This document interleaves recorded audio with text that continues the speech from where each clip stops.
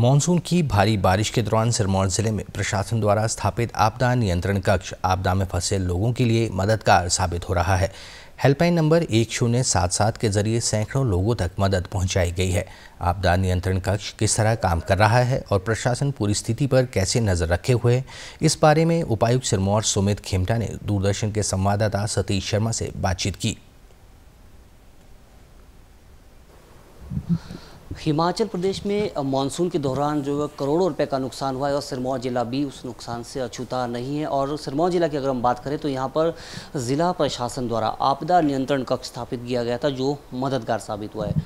उपायुक्त सिरमौर सुमित खिमटा जी हमारे साथ मौजूद हैं, इनसे हम बातचीत करेंगे। सर, सिरमौर ज़िला में भी बड़ा नुकसान हुआ है और हमने ये देखा कि प्रशासन ने बड़ी सक्रियता के साथ काम किया है। कैसे पूरी स्थिति को हैंडल कर रहे हैं? हमारे एक तो यहाँ पे डिस्ट्रिक्ट एमरजेंसी ऑपरेशन सेंटर बना हुआ है जहाँ से हम पूरा जो भी नुकसान डैमेजेस रिलीफ रेस्टोरेशन और रिहेबिलिटेशन की मेजर्स हम ले रहे हैं तो उसके रिगार्डिंग यहाँ से हम मॉनिटर कर रहे हैं पूरे ज़िले को।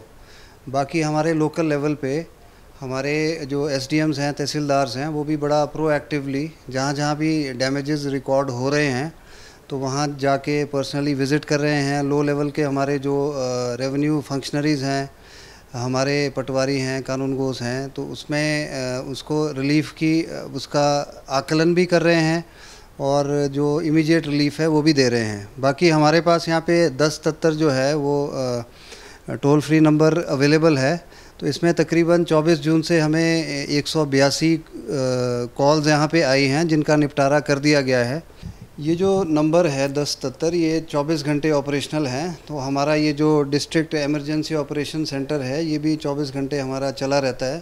तो इन केस अगर कहीं पे भी किसी को कांटेक्ट करना है और इस नंबर को ओवरऑल भी हमने काफ़ी एडवर्टाइज़ किया है। और हमारी ये कोशिश है कि सोशल मीडिया के थ्रू भी वो चाहे लोगों को अवेयरनेस करना है या फिर इन केस कहीं डैमेज होता है, उसकी रिपोर्टिंग है, उसका भी हम यूज़ कर रहे हैं। तो मेरा तो सभी से यही निवेदन रहेगा, आग्रह रहेगा कि वो नदी नालों से दूर रहें, बच के रहें सेफ़ रहें और सुरक्षित रहें और अपने परिवार को भी सुरक्षित रखें। और अगर कहीं विज़िट करना है तो अगर अनअवॉइडेबल है तो उसको रहने दें।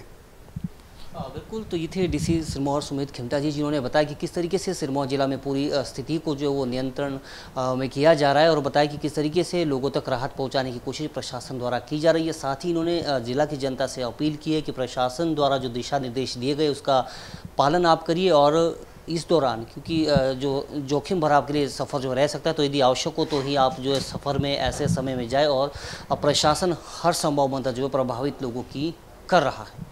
दूरदर्शन समाचार के लिए सिरमौर जिला मुख्यालय नाहन से सतीश शर्मा।